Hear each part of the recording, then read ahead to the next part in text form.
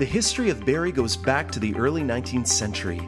More than 170 years have passed, and Barrie has been without a museum. Until now. On September 21st, come celebrate our city at the Mayor's Seat event at City Hall. Join us as we launch the Barrie Historical Archive, Barrie's free online museum with over 5,000 historical images, videos, and documents.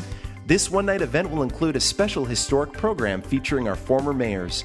Tickets are free, but seating is limited. Visit barriearchive.ca to reserve your spot today. Come join us as we celebrate our history, your story.